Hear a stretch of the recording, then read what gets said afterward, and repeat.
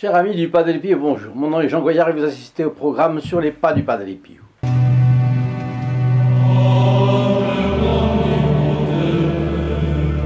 Quand nous nous efforçons de nous comporter selon notre idéal de personne, nous vivons plus saintement.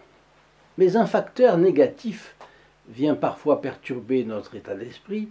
D'un côté, euh, l'excellent Saint François de Sales demande dans son introduction à la vie des votes que l'on ait à l'esprit notre propre bassesse, car dans le cas contraire, la porte de notre âme reste fermée à notre Seigneur Jésus-Christ, qui frappe au dehors, et nous n'ouvrons pas. Vous connaissez cette euh, euh, métaphore d'ailleurs qui est représentée dans certains cimetières où on voit une porte sans poignée, et notre Seigneur Jésus-Christ euh, tape à la porte. Elle représente cette porte, la porte de notre âme. Et si on n'ouvre pas de l'intérieur, notre Seigneur ne rentre pas. Alors le grand écueil, cette porte-là, euh, c'est notre orgueil, bien entendu. Un, orgueil qui est très subtil, qui fait qu'on n'a on pas l'attitude euh, d'un enfant vis-à-vis -vis de notre Seigneur. Bon, d'un côté. Et de l'autre côté, nos bons mouvements peuvent être paralysés par le sentiment de notre propre indignité. Alors, comment résoudre ce dilemme? Eh bien, aujourd'hui, pas de découragement.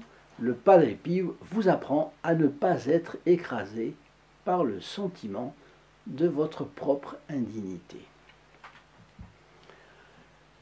Une petite parenthèse, nous lançons une campagne éclair d'abonnement à la chaîne. C'est entièrement gratuit de votre part, cela aura beaucoup d'impact tout de même.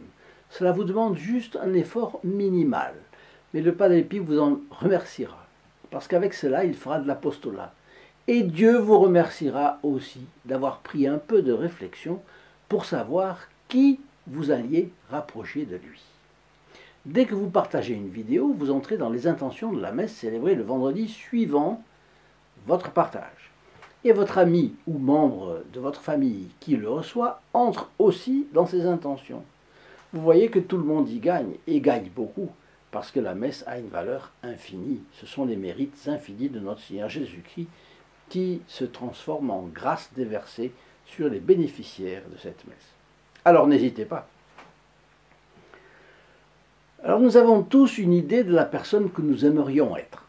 Dans un sens, nous savons exactement quelle est notre place dans ce monde et à quel modèle nous devons correspondre. Nous savons à quel point nous voulons être bons et justes, patients et tempérants, penser aux autres avant soi-même et trouver les mots exacts à dire à ceux qui ont besoin de les entendre. Mais d'un autre côté, faisons-nous les efforts nécessaires à la réalisation de cette, intention Si je ne suis pas encore la personne que je veux être, je me demande comment y arriver. Et alors là, une brume me cache la réalité. Une espèce de nébulosité me barre l'horizon de la connaissance de moi-même, qui d'ailleurs euh, a tendance à changer en permanence selon la, la densité du brouillard. Bon, et finalement, il y a d'un côté nos désirs d'effort, et de l'autre l'échec de nombre d'entre eux. Et voilà que nous touchons du doigt la différence entre une personnalité volontaire et une personnalité velléitaire. Nous sommes trop souvent, au moins parfois, velléitaires et pas assez volontaires. Celui qui est volontaire prend quelques résolutions, se décide et va s'y tenir. Il va se dire telle résolution sera suivie, coûte que coûte. Le velléitaire, en vérité, ne veut pas changer. Il veut bien, il voudrait, mais il ne veut pas s'attaquer pour de bon à ses habitudes invétérées. Nous sommes tous velléitaires plus ou moins sur quelque chose, mais Dieu peut nous transformer. Peu à peu, il nous transformera. Par les grâces, bien sûr, et sous les auspices de, vous avez deviné, de Notre-Dame. Le premier pas, c'est d'être réaliste, donc, c'est se voir soi-même en vérité, comme le disait saint François de Sales, reconnaître sa propre bassesse. Le deuxième pas consiste à penser que seuls nous ne pouvons rien faire. C'est notre Seigneur qui nous l'a dit, si n'est mais, ni il potestis facere. Sans l'aide de la grâce, nous ne pouvons rien faire, même pas prononcer de façon adéquate le nom de Marie et le nom de Jésus. La veille de la Pentecôte, les apôtres étaient tremblants de peur, ils se cachaient. Mais avec la grâce, tout est possible. Omnia possum in eo qui me confortat. Je peux tout en celui qui me fortifie, dit saint Paul.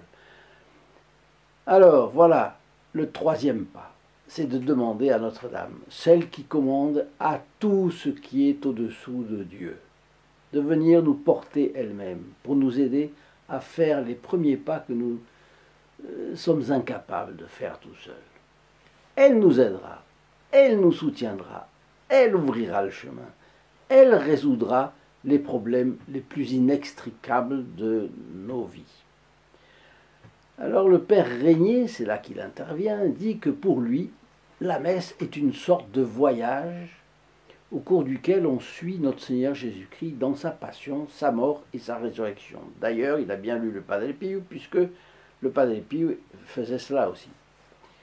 C'est-à-dire à commencer par l'offertoire, à l'offertoire notre Seigneur Jésus-Christ euh, et, commence à être mis en prison euh, ou à, être jugé, comme disait le Padre Pio, et ainsi de suite. La messe se déroule comme ça. Il ajoute, le père Régnier, que la conversion de Chia Labéouf est instructive à cet égard, parce que décrivant son expérience de la messe, l'acteur a déclaré combien la messe l'avait impressionné. Il a eu la conviction d'entrer dans un profond mystère. C'était un acteur, donc il est rentré dans le personnage. Il a appris le latin. Il a fait la chose sérieusement. Il a appris les prières de la messe et puis il les a récités. Ce qui est drôle, c'est qu'avec le temps, son action est devenue une réalité. La messe est devenue réelle. Elle lui a fait commencer à lui aussi le voyage aux côtés du Christ et puis a changé sa vie. Bien sûr, il a récité son rôle, mais quelque chose s'est produit. Avec le temps, son agir s'est imprégné de cette réalité la messe est devenue réelle pour lui. Et elle l'a comme confisquée. Il n'appartenait désormais plus au monde. Il a radicalement changé de vie. Alors, le père Régnier dit qu'à bien des égards, il se sent indigne de la messe. Tout homme est pécheur. Il dit, je suis même perplexe, interloqué, que Dieu y tolère ma présence. Mais enfin, il est prêtre, il doit bien dire la messe. L'abbé Ouf a découvert la messe parce qu'il était acteur et qu'il a appris à jouer Padre Pio pour un film. Pour se préparer, il a regardé la messe. Bon, un prêtre lui a expliqué ce que devait faire un véritable prêtre à tel moment, tel autre. Un prêtre qui célèbre la messe. Et il est entré dans le personnage. Padre Pio a écrit dans une lettre la chose suivante. Les personnes qui regardent en face leur indignité ne craignent jamais de l'être. Ah Voyez, il commence à donner la solution. Ce qui veut dire que même si, c'est le père Régnier qui parle, euh, ce qui veut dire que même si nous nous sentons indignes du modèle que nous avons conçu pour notre vie, nous ne devons pas permettre que cette peur nous en éloigne. Même si vous avez peur, agissez jusqu'à ce que le modèle en vous se fasse réalité. C'est-à-dire que ça ne va pas venir comme ça, ça va venir si vous faites confiance à la Providence. Parce que là, il y a un mot qui n'était pas prononcé, c'est la confiance. Au fur et à mesure qu'il vieillissait, le Padre Pio a senti sa vue baisser, au point qu'il ne pouvait plus, à la fin, lire les prières de la messe dans le missel. Mais il connaissait par cœur la messe des morts, et il a pu célébrer chaque jour cette messe, de toute façon.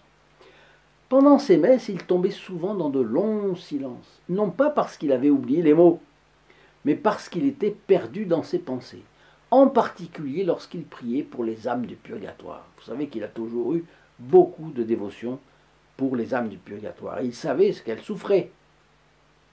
Il avait eu des visions. Il s'était entretenu avec une telle quantité d'âmes du purgatoire. Il disait qu'à San Giovanni Rotondo, il y avait plus d'âmes du purgatoire que de, que de vivants, que de pèlerins vivants. Sauf que lui, il les voyait, nous, on ne les voyait pas. Il priait pour que les âmes du purgatoire sortent le plus vite possible de leur épreuve de purification pour aller au paradis. Une chose curieuse, c'est que les gens n'aimaient pas ces longs silences parfois. Des prêtres se sont plaints. Vous vous rendez compte C'était dans, les années 1966 à 1968. Des prêtres se sont plaints. Et en quoi cela pouvait-il les déranger? Puisque ces messes, elles étaient faites pour Dieu et pour les fidèles. Oui ou non? Pour Dieu, bien sûr d'abord, et puis aussi pour les pèlerins. On se demande de quoi ils se mêlaient. Et moi, je me demande quel effet cela a pu produire sur le pas des pieds. Parce que lui qui avait, qui était aux prises avec le diable, lui qui priait tellement pour les uns et pour les autres, qui faisait des miracles, qui guérissait, thaumaturge, eh bien, il était en but aux critiques très proches de lui. Beaucoup de prêtres autour de lui ont été comme ça. Même le fameux père Pellegrino, qui était capucin avec lui, et qui lui reprochait d'être dur, etc., etc., trop ferme dans la morale. On voit ce que ça, là où ça va, ça, nous amène à mener le, le, fait de ne pas être ferme dans la morale. Alors, on voulait le faire passer pour un imposteur, pour un prêtre qui disait mal sa messe, ou pour un prêtre indigne. Vous savez qu'il y a eu beaucoup d'accusations pour lui. Et même s'il sentait qu'il n'était pas parfait, même s'il se sentait indigne, l'ardente confiance qui le caractérisait lui permettait d'entrer tous les jours dans ce mystère extraordinaire de la messe. Donc, là, vous voyez que le Père Régnier a bien expliqué le rôle de la confiance. Donc, c'est le, troisième pas, le quatrième pas, c'est de faire une confiance absolument phénoménale à Notre-Dame, et Notre-Dame nous aidera. Elle nous aidera à voir notre bassesse, et elle nous aidera à ne pas être écrasé par notre bassesse. de savoir, Dieu m'a créé tel que je suis, avec ma bassesse, il la connaît. Il la connaît, mais à condition de faire un effort pour lutter et pour pratiquer correctement, bien, les dix commandements de Dieu, eh bien, je serai aidé et je serai aidé et euh, j'irai au ciel avec vous. Chers amis, fidèles du Padre Pio, je vous souhaite une excellente journée et je vous dis à la prochaine vidéo. Au revoir. In nome del Padre, del Figliolo e dello Spirito Santo, così sia. Si lodato Gesù e Maria,